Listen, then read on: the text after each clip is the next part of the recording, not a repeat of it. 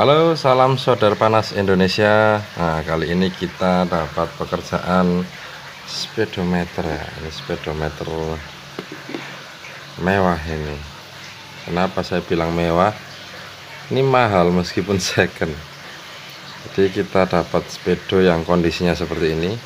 Ya ini LCD bagian sininya pecah. Ini ada indikator bensin sama kilometer sepertinya ada di sini. Kemudian kaca juga pecah.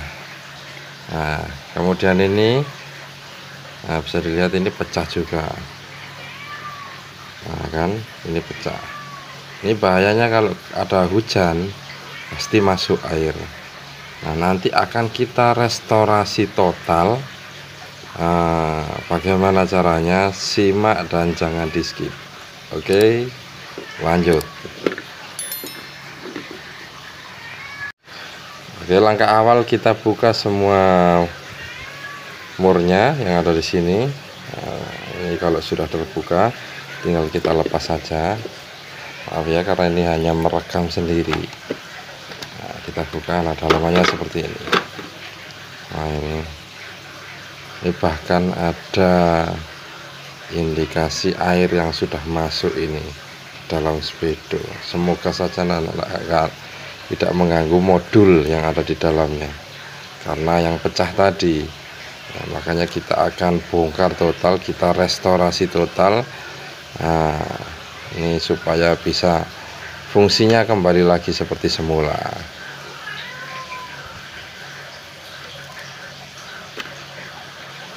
Oke? okay. Oke untuk langkah awal uh, kita perbaiki dulu bagian peletupnya ya. Yang pecah tadi. Nah ini harus diperbaiki. Nah kurang fokus.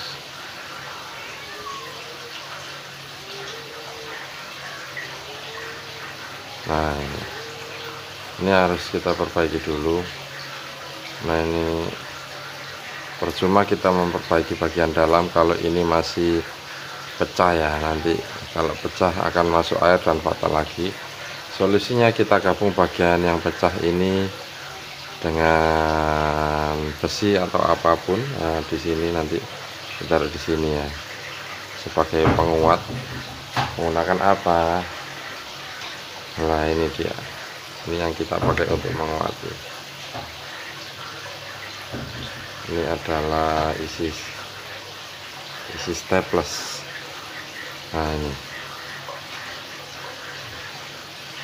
pakai isi staples ini nah, kita akan panaskan di sini supaya nanti bisa kuat dan tidak bisa ini bisa menggunakan solder atau apa pun nah, supaya ini bisa masuk ke dalam sini. Nanti kita kasih beberapa isi staples supaya lebih kuat lagi.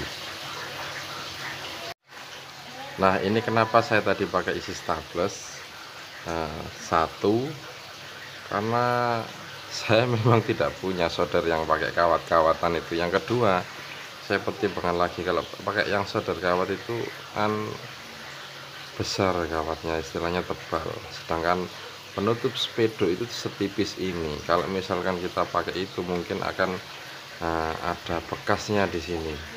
Nah sekarang kalau pakai isinya staples itu kan kecil. Ya cukup uh, ditanam tapi tidak membekas. Hasil panasnya tapi tidak membekas di sini masih mulus. Ini tinggal kita tutup dengan lem kita poles selesai. Oke lanjut lagi untuk perbaikan pada kaca mikanya ya. Salam sadar panas. Nah kemudian lanjut untuk kaca mikanya kita sudah kasih apa ini? Ini lem Altego guys untuk menutup retakan yang ada di kaca tadi. Nah ini kita lem saja nah kenapa kita lem? Kalau mau diganti mika baru ini mahal loh penutup ini. Ini 400.000 di toko online.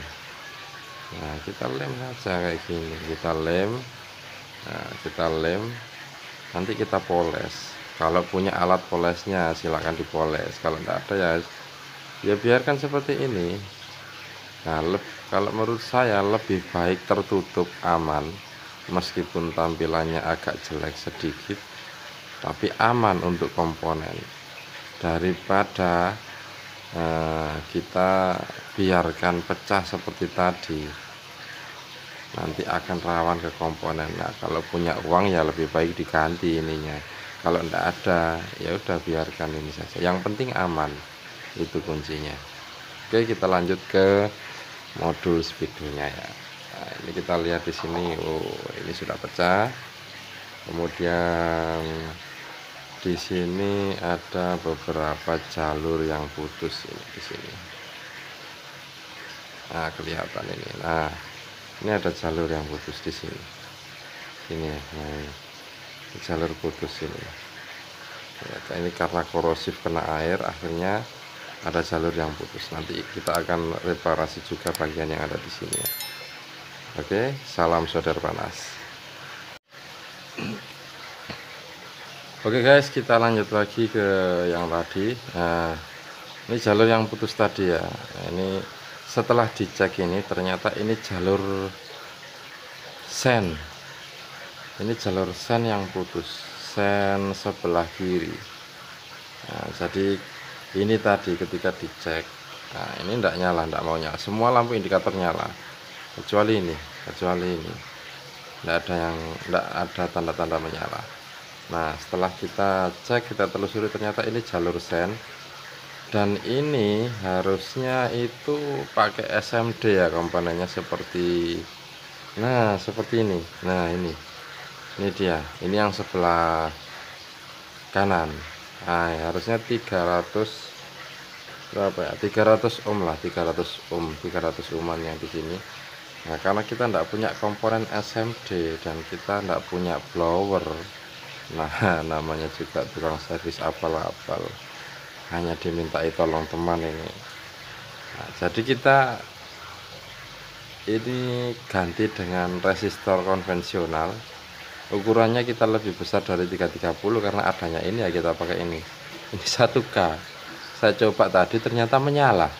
Ya sudah kita pasang yang penting lebih besar dari 300 ohm ya. Kalau lebih kecil itu takutnya nanti jalurnya yang rusak atau lednya yang mati. Nah kalau kita lebih besarkan nah, atau mungkin tidak akan berpengaruh mungkin nyalanya agak redup sedikit gitu saja. Tidak apa-apa yang penting awet ya kan? Nah selanjutnya kita akan langsung ke pengerjaan bagian LCD nya nah ini LCD nya kita akan bongkar kita akan ganti dengan yang baru. Nah ini dia sudah datang yang baru. Kita ganti. Kita tidak akan uh, terlalu rumit untuk melepas semua bagian ini. Kita congkel-congkel ini tidak perlu. Yes kita ini saja. Kakinya kita kakinya kita lepas dari solder-solder ini setelah itu kita tarik dari sini saja biar tidak terlalu banyak pekerjaannya. Namanya juga tukang servis apal-apal bos. Yang penting bisa ya kan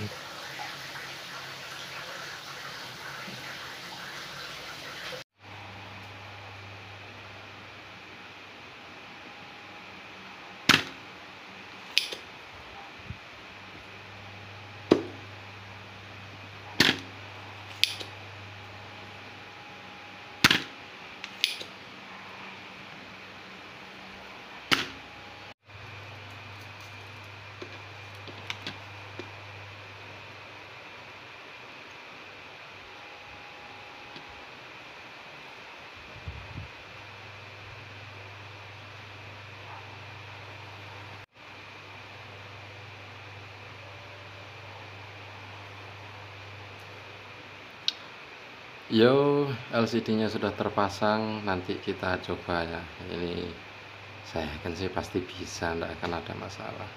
Yang penting penyoderaannya benar pasti tidak ada masalah. Oke lanjut ke pemasangannya. Halo guys. Nah, ini hasilnya yang sudah terpasang. Nah, kita coba matikan lagi ya. Nah, kita hidupkan nyalakan Nah semua indikator sudah menyala sudah bagus normal. Kemudian nah, untuk indikator kilometer berkedip-kedip karena IC EEPROM nya nah, agak error tapi yang lain fungsinya normal semua. Oke lanjut. Salam saudara panas